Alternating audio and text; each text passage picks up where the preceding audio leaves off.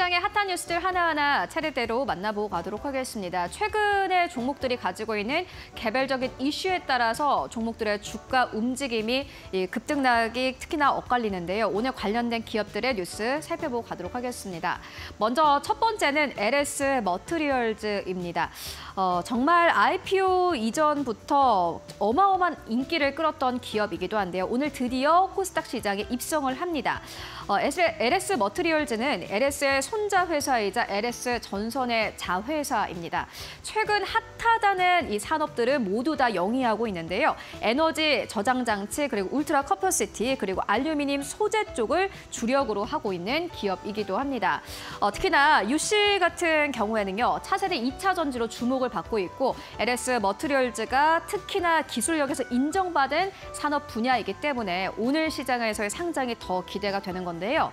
지난해 매출 같은 경우에 는요. 연결 기준으로 했을 때 1,619억 원대로 집계가 됐고요. 영업이익의 경우에는 144억 5천억 원대로 집계가 됐습니다. 일단 실적도 나쁘지 않습니다. 그만큼 인기가 높았는데요. 12조 원 넘게 증거금을 모은 바 있고요. 공모가 같은 경우에는 최상단보다 더 아웃퍼폼한 6천 원대로 확정이 됐습니다. 오늘 시장에서 주가가 어느 정도까지 움직일지 확인해 보시면 좋겠습니다.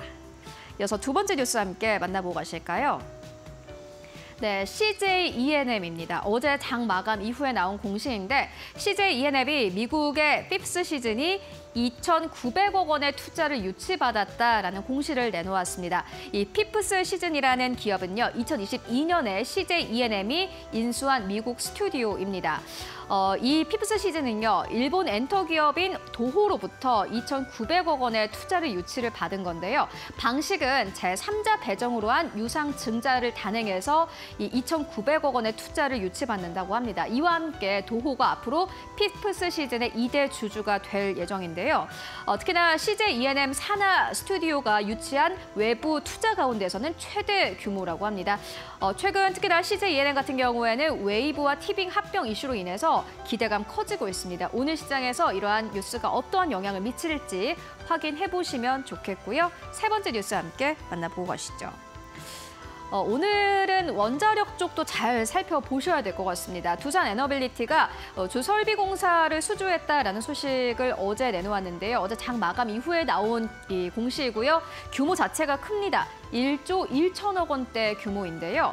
이 신한울 원자력 3, 4호기에 대한 공사 계약을 체결했다라는 공시를 내놓았습니다. 전체 계약 금액은 1조 918억 원대라고 하고요. 내년 4월부터 착공될 예정이고 2025년까지 어, 이 모두 다 완료를 할 예정이라고 합니다. 앞으로 향후 10년간 연평균 1조 원 이상의 수주를 기대해 볼 만하다라는 증권사의 코멘트가 나온 바 있습니다. 관련주들이 시간외에서 급등 흐름을 보이기도 했는데요. 두산 에너빌리티 관련된 value chain에 있는 기업들 오늘 시장에서 흐름 잘 체크해 보시면 좋겠습니다. 이어서 마지막 뉴스 함께 만나보고 가시죠.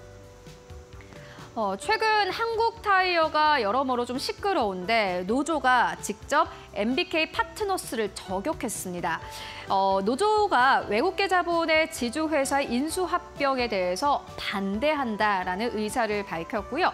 어, 최근에 MBK 파트너스는 한국엔 컴퍼니의 주식 공개 매수 의사를 밝힌 바 있습니다. 12월 18일까지 이 공개 매수는 계속 진행될 예정인데요.